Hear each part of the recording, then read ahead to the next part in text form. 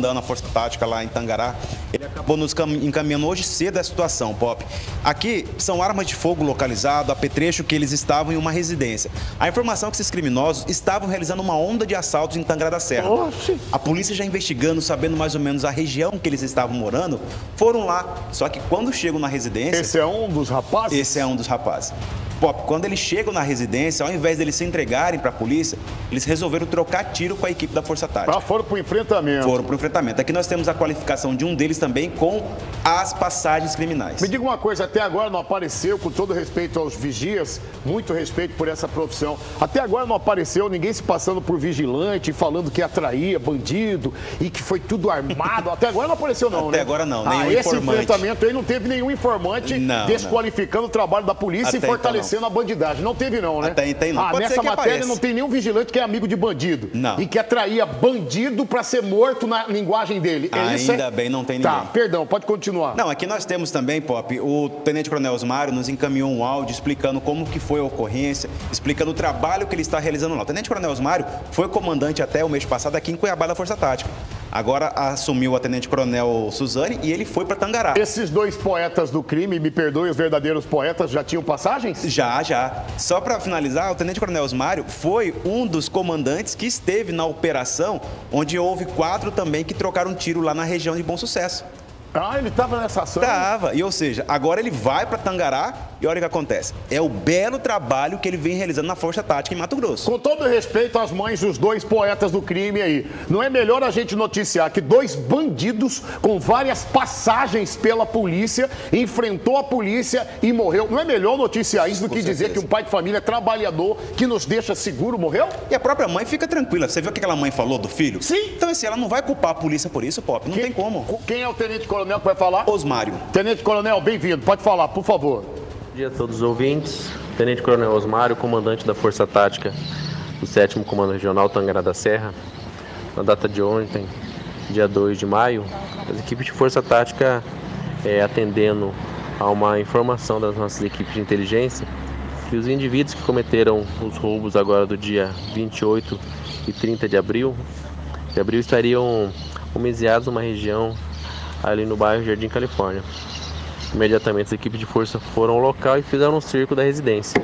No momento da abordagem, os indivíduos, dois indivíduos estavam no interior da residência e fizeram disparos contra as equipes de força tática, que prontamente respondeu à injusta agressão, vindo a alvejar dois indivíduos. Foi imediatamente feito contato com o SAMU, que encaminhou esses indivíduos para o pronto atendimento, mas que não resistiram e vieram a óbito. Em varredura pela residência foi encontrado três armamentos, sendo um simulacro e duas armas de fogo, um revólver e uma arma de fabricação artesanal.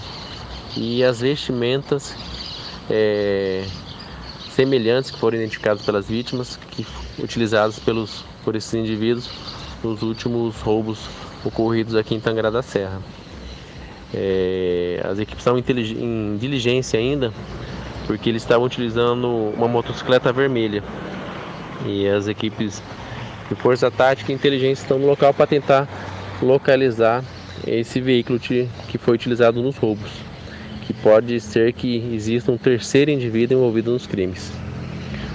Então é importante destacar é, que ações criminosas como essa existe a resposta à altura para que não venham a ocorrer novas ondas de roubo aqui na cidade de Tangará da Serra. Tenente Coronel Osmário, o senhor é bem-vindo sempre. Parabéns pelo enfrentamento, parabéns pelo resultado.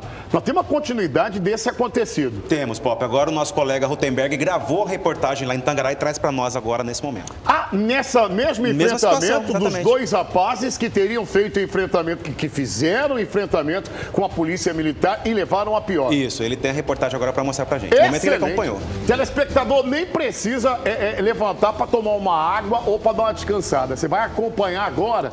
Só me permita sempre oportunizar a nossa audiência. Eu vou rodar essa matéria e ao final aí a gente consegue ouvir você sobre os assuntos que a gente está tratando. Vou direto, play neles, vai.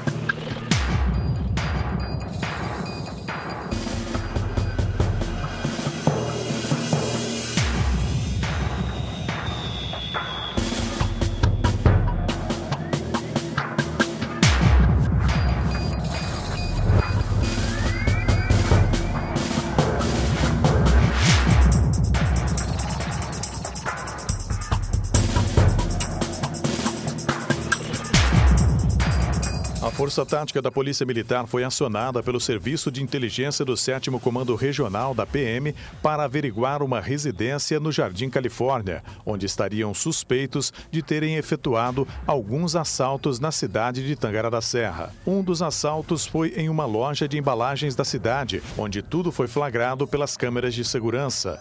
O bandido chegou a dar um tiro em direção à cabeça da vítima, mas errou acertando uma parede. Na hora do assalto, um idoso reagiu e entrou em luta corporal com o bandido, conseguindo desarmar o assaltante, que fugiu em seguida.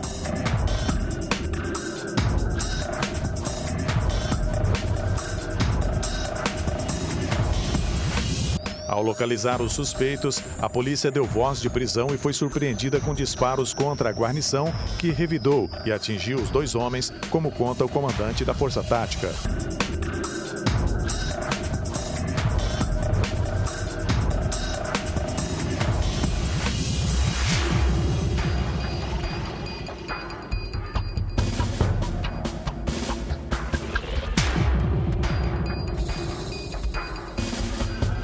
É, na data de hoje, por volta das 7h30 da noite, as equipes de Força Tática receberam uma informação das nossas equipes de inteligência que os indivíduos que cometeram roubo aqui no município de Tangará da Serra nos últimos dias 28 e 30 estariam homiciados em uma residência ali no bairro Califórnia. Diante dessas informações, as nossas equipes deslocaram até o local e buscaram fazer a, a abordagem desses indivíduos.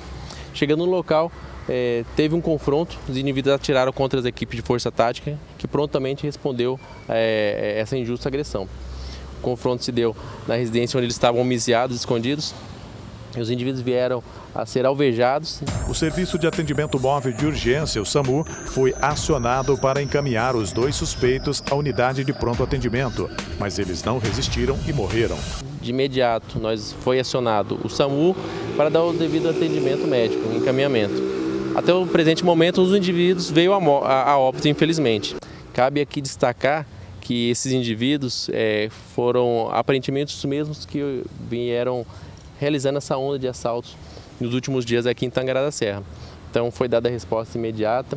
Uma das vítimas é, já reconheceu os vestimentos utilizados por esses indivíduos e junto com eles foram localizados três armas de fogo, sendo é, um, um revólver, um, um, armamento artesanal e mais um simulacro de pistola.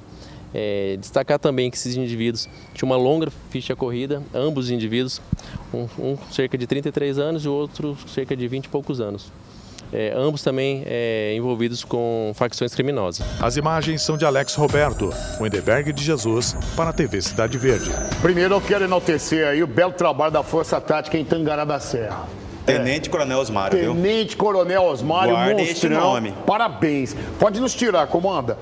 O que você está vendo é um dos rapazes que fez o enfrentamento com a polícia militar. Eu quero que o senhor em casa perceba se na hora do enfrentamento, na troca de tiro com a polícia, porque eles fazem, eles trocam, se ele pensa que se ali tem um pai de família, se ele tem alguma consideração, se aí nesse comércio, ele toca o terror pra, com esse senhor que seria o proprietário. Esse senhor conseguiu tomar a arma do tomou, bandido? Tomou o revólver 38 que ele estava na mão ali. Ainda eles saíram correndo, ele tentou atirar contra os criminosos. Se tivesse uma chance, ele matava ou não esse comerciante? Com certeza, tanto é que ele apertou o gatilho. Só Pensa, que não acertou. Matava ou não, Arthur? Com certeza. É assim que eles se comportam antes que alguém aí faça mau juízo ou faça um juízo errado. Ou condene a polícia. É, ponto, mas não tinha outro jeito. Se nessa cena esse senhor, auxiliado por mais um, não conseguisse tomar a arma dele, ele estava morto. Ele estava morto. Esse mesmo rapaz que você está vendo em casa, aloitando. É uma mulher que está ali? É uma mulher, possivelmente a, a esposa dele, dele, esposa. Filha. O mesmo bandido que você está vendo aí aloitando com uma mulher e com o senhor, é o bandido que trocou tiro com a polícia e felizmente ele perdeu. Não vai roubar mais. Nunca mais vai tocar terror para um pai de família. Agora o senhor pensa que é a primeira vez que ele está fazendo isso? Isso aí já tem mais de 10 passagens pela polícia mais de 10 vezes teria tocado o terror. Esse é o vídeo que a gente conseguiu.